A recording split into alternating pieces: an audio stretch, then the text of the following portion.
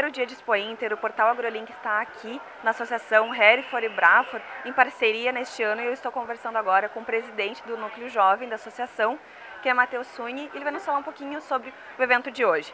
Matheus, hoje vocês vão ter uma capacitação, me conta o assunto, o que vocês vão abordar hoje? É, a gente vai ter uma, uma capacitação sobre marketing digital. Gente, o nosso evento vai ocorrer agora às 19 horas, hoje de noite.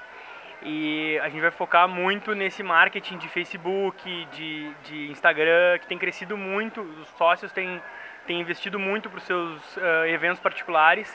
E a gente viu que tem uma. Um, que estava precisando um evento para se conversar sobre isso e como isso está sendo feito. A gente convidou a Jaqueline e a Tati aqui da associação para mostrar o case de marketing da associação.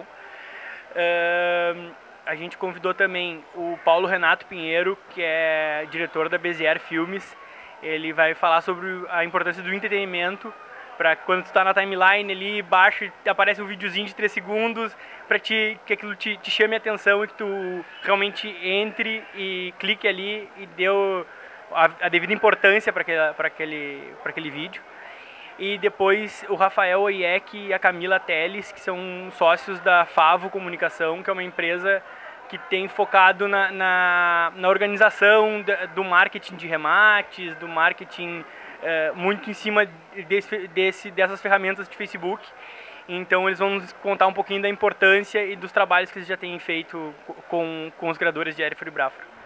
Matheus, como presidente da Associação do Núcleo Jovem, eu quero que tu me conte um pouquinho sobre o perfil desses jovens, como já é uma tradição aqui na Expo Inter, o primeiro sábado, ter esse encontro. É, já é o terceiro encontro que a gente tem. O primeiro foi um encontro de alguns amigos que a gente ah, vamos, vamos fundar um negócio e chamar mais gente para trabalhar conosco, né? E foi, foi o primeiro ano.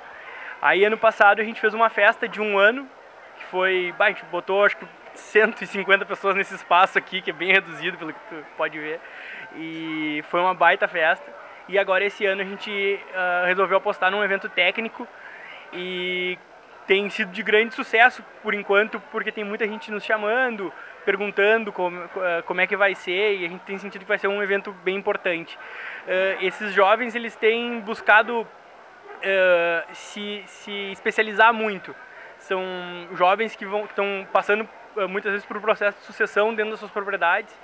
E a gente tem visto que esses núcleos jovens, tanto da Hereford, Angus, uh, Farsul Jovem, uh, tem essa troca de experiência entre todos esses núcleos e, e esses jovens têm ajudado muito nesses processos de sucessão, uh, nas tomadas de, de, decisão das propriedades. E isso tem, tem ajudado muito o, o, os jovens que estão assumindo as propriedades rurais do, no Rio Grande do Sul.